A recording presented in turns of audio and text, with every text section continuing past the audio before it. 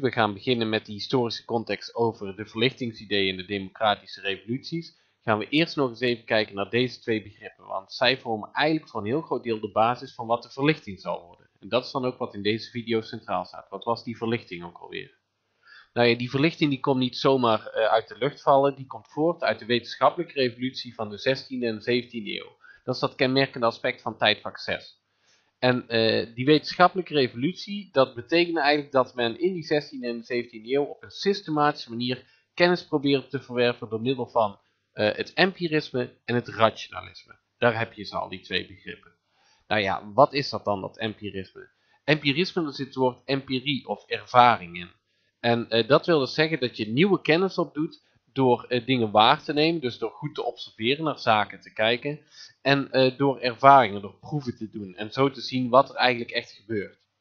En rationalisme, dat wil zeggen dat je de ratio, de reden of het verstand gebruikt, en dat je dus nieuwe kennis ver verwerft door het gebruik van de reden, door goed na te denken en logisch te beredeneren wat er nou eigenlijk gebeurd is en wat er daardoor weer kan gebeuren.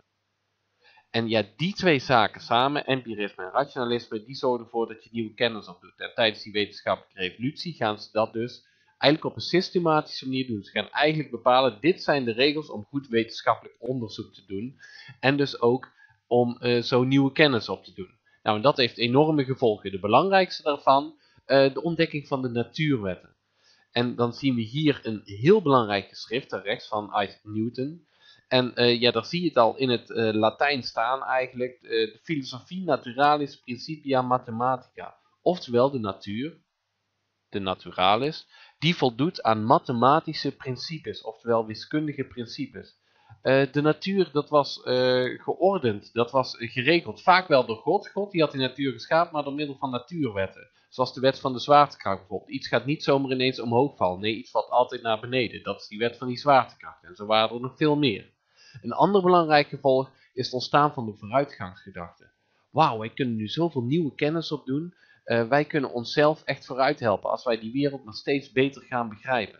En die vooruitgangsgedachte, dat optimisme, dat is ook een kenmerk van de verlichte denkers uit de 17e en vooral ook de 18e eeuw. Want die gaan voortborduren uh, op die wetenschappelijke revolutie. En de verlichting is een stroming van geleerden die menen dat alles met behulp van het verstand kon worden verklaard.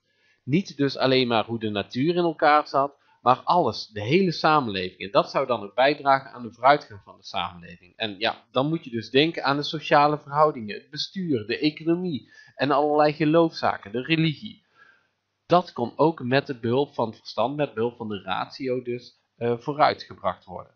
En omdat die verlichte denkers steeds meer op die manier gingen denken, kwam dat ook tot grote verandering in het denken over die samenleving.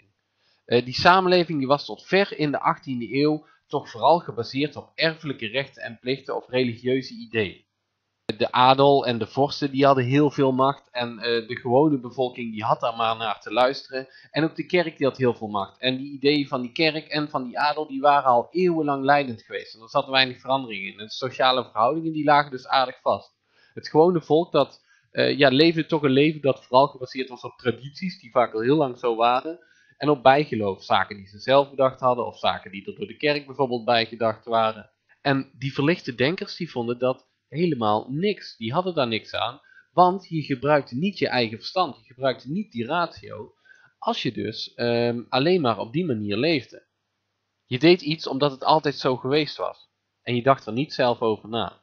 En in de verlichting ging men dus steeds meer toe naar een samenleving die gebaseerd was op de reden waarbij men wel zelf nadacht. En dat was de kant die men op moest, vond die verlichte denkers.